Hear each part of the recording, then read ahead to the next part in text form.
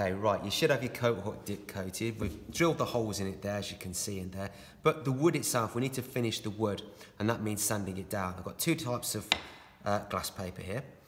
You can see one has got the number 240 on it, and one has got the number 80. The number 80 is the rougher glass paper. You can feel that, and that's one we use first.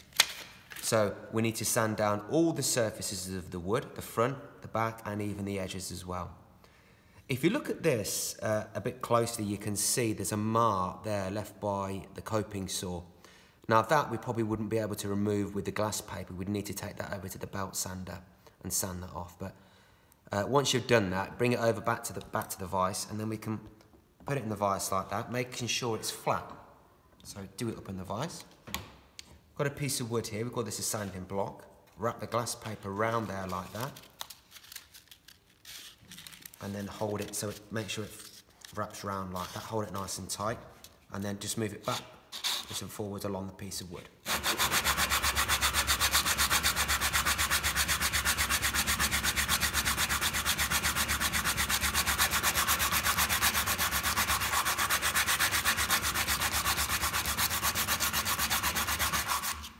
And what we're trying to do is remove all the marks left by the saw or the belt sander.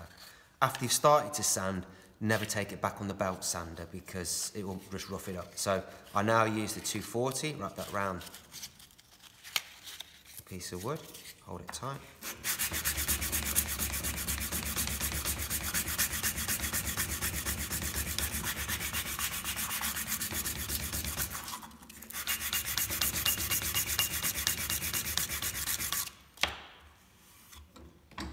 And after you've sanded it for a while, you should be able to see the end grain be start to be visible on the end. That's how you sand the ends, and sand it until you get rid of all the marks and, the, and the grain is really visible there. To sand the front, open the vise up like this.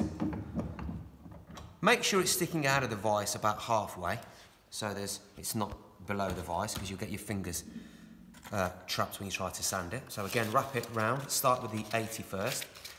This feels quite smooth, but there's still marks on there left from uh, dirty marks that we can remove. So, again, go with the grain. You can see the grain lines of the wood there.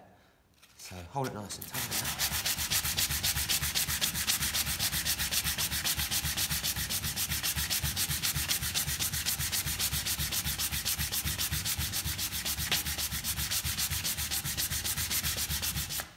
and take that off and put the 240 on. Obviously, the longer you do it, the better quality finish you're, gonna, you're going to get. But at least one or two minutes with either type of glass paper on every surface.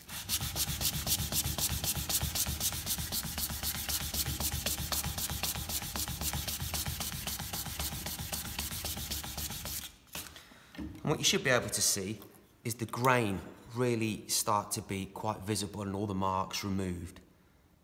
And and then after you've done it on all the front sides and the back sides and all the edges, it's time to varnish it.